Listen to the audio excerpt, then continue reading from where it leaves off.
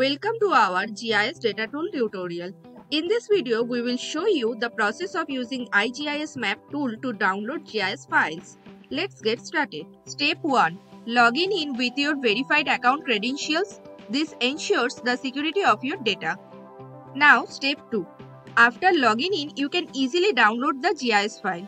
You can see this map canvas. Click on product option, then click download GIS data. Here you can see the download GIS data tool successfully open on the right side of your screen. Now step 3. Here you can see various type of option to download the data. Search the country name like Turkey.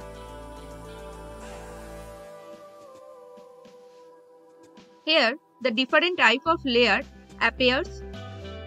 I use the administrative boundary. You can also download data from others layers now step 4. Once you get your required data, you can now download your data.